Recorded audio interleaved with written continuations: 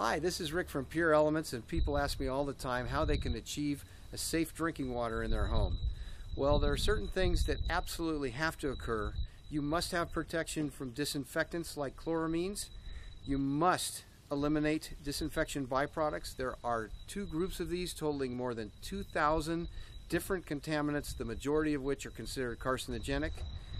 You must have protection from heavy metals. What we're seeing on the coast right now are arsenic and chromium 6, which is the Erin Brockovich contaminant that she's very famous for.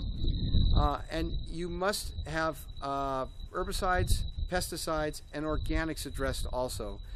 You can achieve a safe drinking water by addressing that list of things. You can make a determination whether you want to go further and actually go to a purification process, but that will leave you with a water that's devoid of minerals and acidic. So uh, you have to make sure that you choose the right methodology for yourself and we can absolutely help you when it comes to achieving a safe and healthy drinking water in your home. If you're looking to improve your household water quality for a variety of reasons, we are the experts. We would love to help you with whole house filtration, salt free water conditioning, and environmentally sound ways to address your issues. So please take a minute and give us a call at the number below. We're happy to answer questions, educate you, and allow you to go through the process to make sure you get the right system for your needs at the right price point.